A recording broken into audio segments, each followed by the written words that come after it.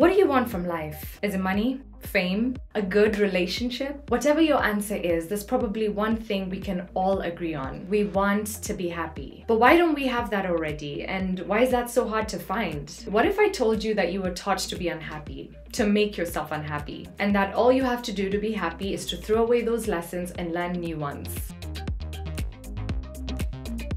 That's what Don Miguel Ruiz tells us in his book, The Four Agreements, which became so popular it was a New York Times bestseller for over 10 years. The core idea he presents is so powerful and enlightening that he's garnered praise from all over the world. Oprah recommended his book to her audience three separate times. In this video, we'll explore what the four agreements are, where they come from, and how you can use them to reclaim the joy, freedom, and curiosity that you had when you were a child. For more great book summary videos, subscribe to our channel and hit the notification button. Don Ruiz tells us that all the rules we have in the world are agreements that we make as a society. And I don't just mean laws either. Everything is an agreement. From morals and religions to cultures and relationships. According to him, they exist the way they do because we agree that that's how they should be. And that's the only reason they're like that. But where did we get those rules and how did we agree to live by them? According to Don Ruiz, we learned them as children before we could even think logically. We learned everything from what's right and wrong, how to behave, what to believe, and who we should be. Our families, our schools, and our cultures taught us what's beautiful and what's ugly, what's acceptable and what's not. Our little brains vacuumed it all up, made it a part of our world, and now we believe the rules are as real as sunshine. But we never got to choose which rules we agreed to, did we? We were trained like little puppies. If you screamed in the supermarket, you were punished. If you shared your toys, you were praised. Good job, Gabriella. And if you got braces, you might have been bullied. The more rules we learned, the less happy and free we became. As we grew up, we traded our childish joy and curiosity for things like productivity, conformity, and responsibility. We stopped living in the moment and started worrying about our past and our future. You see, over time, the rules became a part of us. They started living in our heads. We didn't need our parents to tell us what's right and what's wrong anymore anymore. We learned to punish ourselves. Don Ruiz explains that over time, this belief system becomes an inner judge. It criticizes our actions, our thoughts, and our feelings. And when we don't conform to its rules, it punishes us with guilt, shame, and unhappiness. There's no justice in this internal court. We're not punished only once for our mistakes. We're punished over and over and over, and sometimes we suffer for years over one wrong act. We suffer so much that some of us turn those judgments outwards. We force others others to suffer from the agreements we made. And when they don't comply, we often guilt them with shame and blame. We can escape this cycle. According to Don Ruiz, we can return to the freedom and joy that we experienced as children. It's still inside of us today. All we have to do is take another look at the rules that we've agreed to.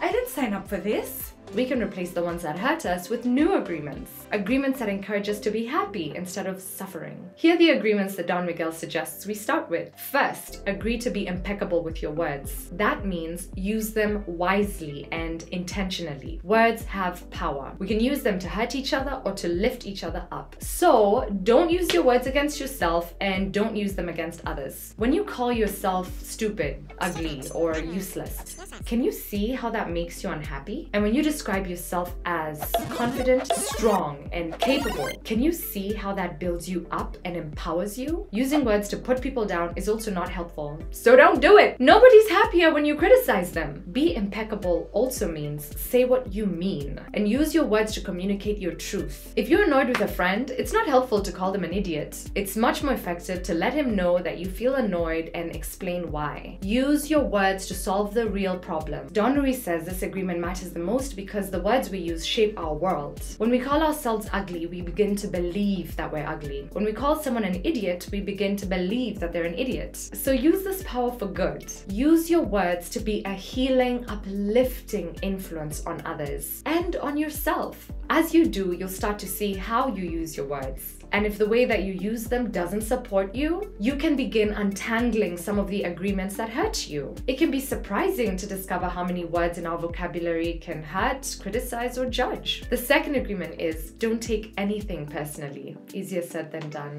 I know. But you see, everyone lives in their own set of agreements. That means we each see a different world. Imagine you're in a movie theater watching all the events of your life filmed through your eyes. You see your family, your birthdays, your school exactly as you envision them. Now imagine you go to another room where your mother's life is playing and you watch all the same events through her eyes. But everything is so different from her perspective. The things that were so important in your film might be small in hers. And events that might have seemed unimportant to you might have meant everything to her. And some events could be important to both you and her in completely different ways.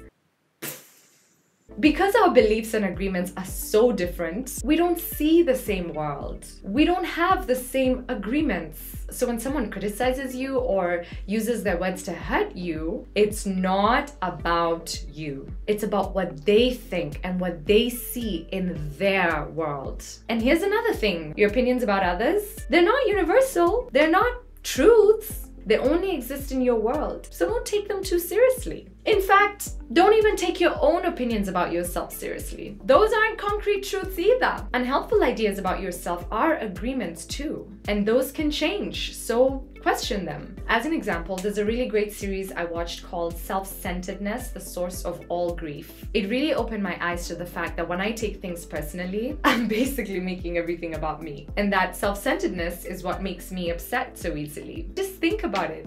If I'm upset, it's because I'm thinking, how could you do that to me? Why don't you care about me? Me, me, me, me, me. When you don't take things personally, it's easier to accept that not everyone is living in your world. So you try to join them in their world. You can ask yourself questions like, I wonder what's going on with them. I wonder if there's a way that I could support them. Or, I know they aren't dealing with me. I know they're dealing with their idea of me based off of their world. When you stop taking things personally, you become immune to other people's harmful words.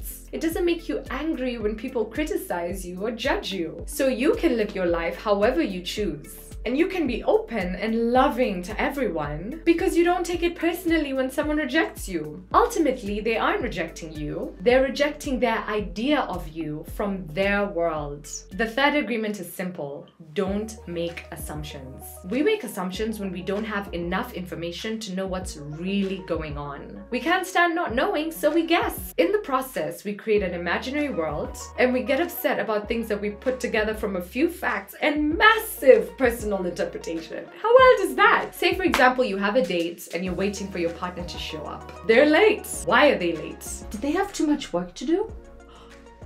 Were they in a car crash? Are they cheating on me? No. They left the country. Country without telling me? So much conflict, stress, and pain comes from assuming we know things that we don't know. But if we can't assume, what can we do? Communicate. If you want to know something, ask. So here's an example. I used to struggle with social anxiety. When I was in a group of people, I was always worrying about what they thought about me. I eventually read a book about it, and with the book and professional help, I was able to dramatically reduce my fear. Now I barely think about what others think about me in a group. But if something does happen that I can feel myself start to misinterpret, instead of living in scenarios like I used to, I ask. I say something like, hey, so this happened, and I'm just checking in. What did you mean by that? And 10 out of 10, it's never the scenario that I thought of. If people asked more questions and listened, there would be more peace in the world. When you stop making assumptions, you focus on what's really happening. You stop having conflicts with people about imaginary things, and you have fewer misunderstandings with important people in your life. The final agreement is always do your best. I'm sure you've heard this before, but have you thought about what that means? Your best is not the highest bar you've ever achieved. It's not the the greatest thing you've ever done. And it's not giving it 110%. Your best varies day to day, moment to moment. It's the best you can do right now in your current circumstances with the tools you have. Doing your best is about accepting reality. If you're not feeling great today, then today's best efforts won't look the same as tomorrow's. And that's fine. This is so important because being realistic about what your best means today actually frees you. It makes your best achievable on a daily basis. When you always do your realistic best, you're kinder to yourself, and that makes you happier, calmer, and more relaxed. You don't feel as lazy or overworked because you don't push yourself to do more than you can manage. And you don't feel guilty for doing less. And when you look back on what you might call a failure and see that you were doing your best that day, you can forgive yourself. You were doing your best with the information, the skills, and the person that you were at that time. And it's okay. Practicing this specific agreement can be tough, so Don Ruiz offers some tips. He says, practice saying no when you want to say no, and say yes when you want to say yes. That way, you'll spend more of your time the way you want to spend it. And if you struggle to keep the four agreements, don't beat yourself up for it. Just keep trying. Focus on one moment at a time and do what you can in each moment. Finally, let go of your past mistakes and regrets. The person you were did what they could. Even if you hate the results, hurting yourself over it isn't helpful. So look forward instead.